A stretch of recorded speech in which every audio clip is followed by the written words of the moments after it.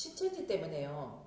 많은 자녀들, 또 아내, 남편, 뭐, 이런 사람들이 피해를 많이 당하잖아요. 우리 장로님 네. 같은 경우도 뭐, 이 피해자 중에 한 사람으로 제가 알고 있는데, 어, 이 피해를 입고 또 이것을 극복하기 위해서 또 이- 거기에 신천지에 빠져 있는 우리의 그 가족들을 다시금 데려오기 위해서 무진장 애쓰셨을 것 같은데 자, 이 신천지 그들이 위험한 이유가 무엇입니까?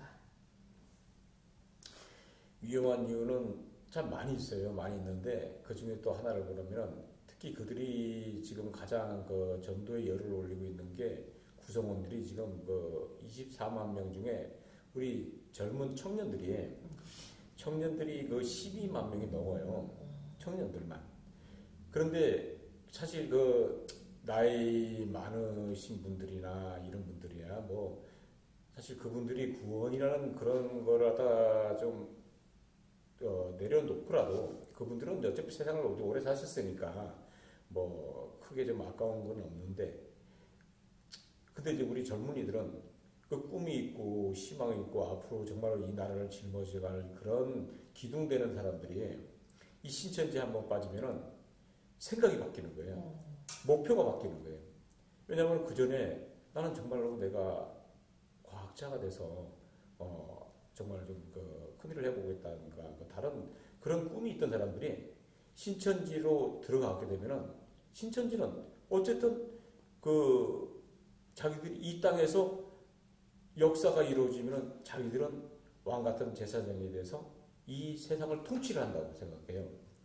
그래가지고 자기들이 그 신천지 그 일에 올인하게 되면은 그 역사날에는 그 세계 각국에서 신무리들이 금문부화를 다 싸들고 자기들한테 온다는 거예요. 오, 그러면 자기들은 거기서 왕노릇을 한번 배분돼서 그 통치만 하면 된다고 생각해요. 그러니까 그런 꿈이 있으니까 자기들이 이 사회적인 거 이런 자기 개인적인 뭐 이런 공부나 이런 뭐 스펙이나 뭐 이런 데서 이렇게 그쪽으로 그 공부나 이런 걸 안 해도 된다는 거죠. 신천지만 오직 신천지 그 활동만 하면은 그 정말로 그 큰 일을 큰 목표가 되니까 그러니까 이제 그런 걸 잊어버린다는 게 그 자신을 갖다 잊어버린다는 게 가장 아쉽고요. 그리고 또 이제 물론 이제 이런 것도 있어요. 어, 사람들이 그러잖아요. 보면 그 애들이 사람들이 바보가 아닐까. 물론 이제 바보는 아니고 정말 똑똑한 애들이 사람들이 많이 들어가니까 그들이 이제 포섭 대상에 구분을 쟀잖아요. A 등급, B 등급, C 등급 이렇게 나누는데 정말 이렇게 좀뭐 성품도 착하고 얼굴도 외모도 그렇고 하여간 그 학식이나 모든 면에서 이렇게 좀 어디 가서도 정말 지금 그 내놓을 만한 사람들을 많이 이제 포섭을 해요. 근데 그 사람들이 착하니까 좀 그 순진해서 그 사람들을 말 듣고 빠지다 보면은 그렇게 되는데 어 그 사람들을 갖다가 데려가면은 제가 얘기가 가다 길다 보니까 또 방향이 바뀌거든요. 괜찮습니다. 어, 다시는 그 솔직히 들- 돌아올 수가 없어요.